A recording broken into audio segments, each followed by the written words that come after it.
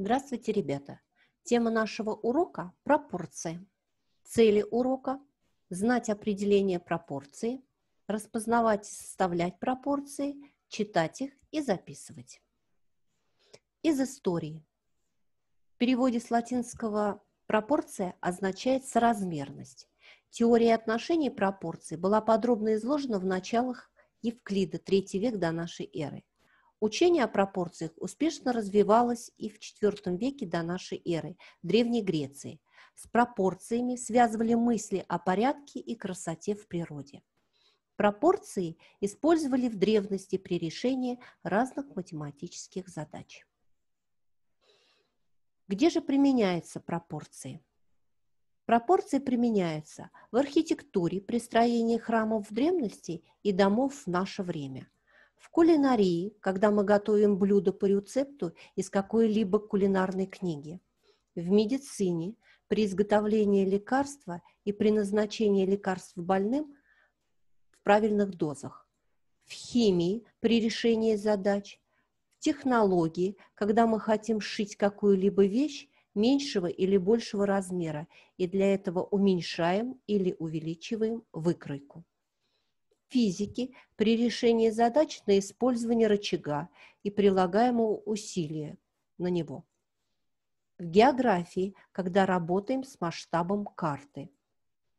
В изобразительном искусстве с помощью пропорций создавали узоры, симметричные узоры, картины, портреты. Золотая пропорция или золотое сечение являлось критерием гармонии и красоты с математической точки зрения. В биологии это же золотое число наблюдалось в пропорциях гармонично развитого человека. Что такое пропорция? Давайте вычислим отношение. 48 к 2 равно 24. 1,2 к 0,2 равно 6. 3,2 к 4 равно 0,8. 24 к 1 равно 24. 11 к 10 равно 1,1. 18 к 3 равно 6. 5,5 к 5 равно 1,1 и 5,6 к 7 равно 0,8. Давайте выпишем равные отношения. Мы с вами видим, что некоторые отношения имеют одно и то же значение. Запишем. 48 относится к 2, так же как 24 относится к 1.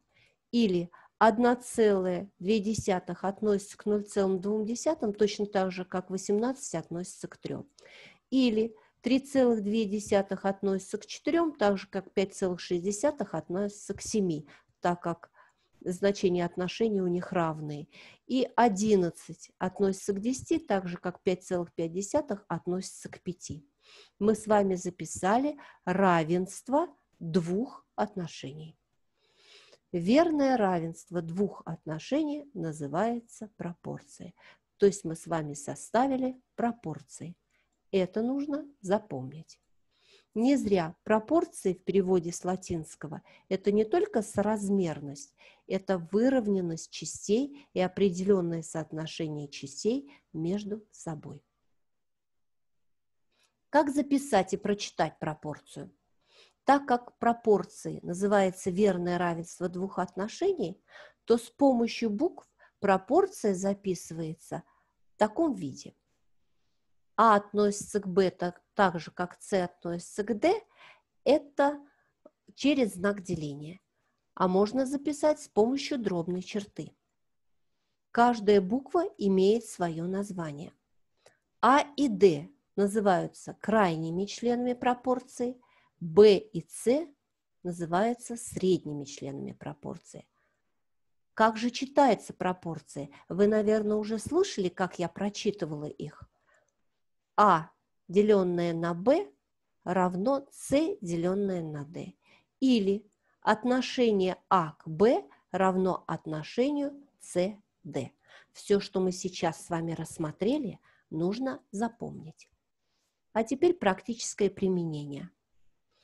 Первое задание – выяснить, является ли пропорция равенства. 2 относится к 5, так же как 4 относится к 10. Так как пропорция называется верное равенство двух отношений, то мы можем посчитать значение каждого отношения, находящегося в левой и в правой части равенства. 2 деленное на 5 и 4 деленное на 10 дают одни и те же результаты 0,4 и 0,4. Значит, данное равенство является пропорцией. Второе равенство. Если мы возьмем и сократим вторую дробь на 3, то мы получим равенство одинаковых чисел. 5 шестых равно 5 шестых. То есть данное равенство является пропорцией. Второе задание. Запишите двумя способами равенства двух отношений и проверьте, является ли полученное равенство пропорцией. 8 так относится к 16, как 4 относится к 8. Записываем с помощью знака деления, записываем с помощью дробной черты. Эта пропорция, записанная нами, верная, так как если мы первую дробь сократим на 8, а вторую сократим на 4, получится верное равенство. 36 во столько раз больше 6? Во сколько раз 18 больше 3? запишем с помощью знака деления и с помощью дробной черты. Получилась верная пропорция, так как мы можем подсчитать значение каждого отношения. 36 деленное на 6 будет 6, и 18 деленное на 3 тоже будет 6. Отношение 7 к 9 равно отношению 21 к 27 с помощью знака деления и с помощью дробной черты – эта пропорция верная, так как если мы вторую дробь сократим на 3, то у нас получится верное равенство. Следующее задание. Вместо звездочки впишите недостающие члены пропорции. Конечно же, мы можем это задание делать методом подбора, но это очень долго и непрактично. Мы можем решить уравнение с одним неизвестным по правилу нахождения неизвестного компонента. В данном случае неизвестным компонентом является средний член пропорции, и он же будет являться делителем. Находим его значение, подставляем в нашу пропорцию и проверяем, получилась верная пропорция. Во втором случае неизвестен крайний член пропорции, и он же является делимым. Чтобы найти делимое, частный делитель нужно перемножить. Находим, подставляем, проверяем. В третьем случае неизвестен средний член пропорции. Находим, подставляем, проверяем. Следующее задание. Составьте две пропорции, у которых значение отношения в первом случае равно 4. 8 относится к 2, так же, как 20 относится к 5. Или 16 относится к 4, так же, как 28 относится к 7. Это верная пропорция. Каждое отношение, стоящее в пропорции, равно 4. А теперь оно должно равняться 9.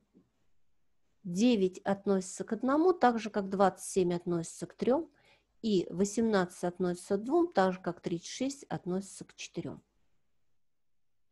Каждое отношение, входящее в пропорцию, равно 9. Можно привести и другие примеры к этому заданию. Ну а теперь самостоятельная работа для закрепления материала.